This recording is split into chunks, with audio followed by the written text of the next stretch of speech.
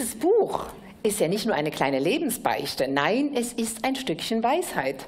Dieses Buch will Ihnen sagen, wenn etwas schief geht oder Sie vom Weg abkommen, dann manchmal nur, damit Sie nicht geradewegs in Ihr Unglück rennen. Wer dauernd in Fettnäpfchen tritt, bei dem läuft es irgendwann wie geschmiert.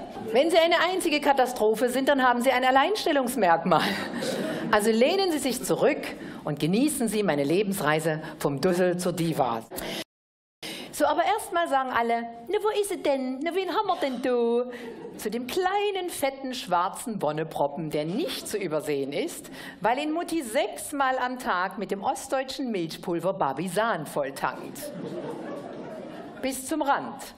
Für alle Spätgeborenen, nicht aus Not. In den 60ern galt es als altmodisch und ungesund, seinem Neugeborenen das olle Zeug aus der Brust anzubieten. Ich bin bald so pausbäckig, dass ich kaum noch die Augen aufkriege. Meine Schlitzaugen lassen den Vati kurz zweifeln, ob nicht doch eher ein durchreisender Chinese die Zeugung für sich beanspruchen kann.